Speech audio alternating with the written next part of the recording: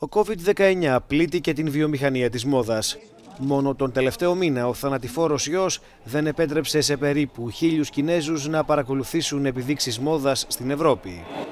Πρόκειται για επιχειρηματίες, καλλιτέχνες και στυλίστες που μεταφέρουν στις χώρες τους την τελευταία λέξη της ευρωπαϊκής μόδας.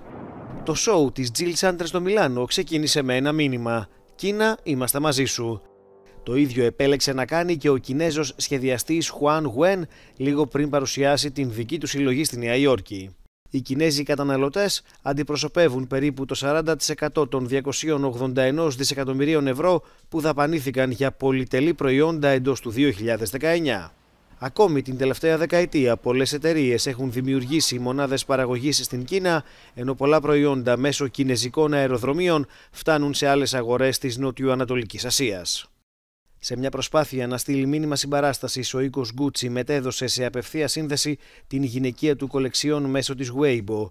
Πρόκειται για μία από τις μεγαλύτερες και πιο δημοφιλείς πλατφόρμες κοινωνικής δικτύωσης στην Κίνα.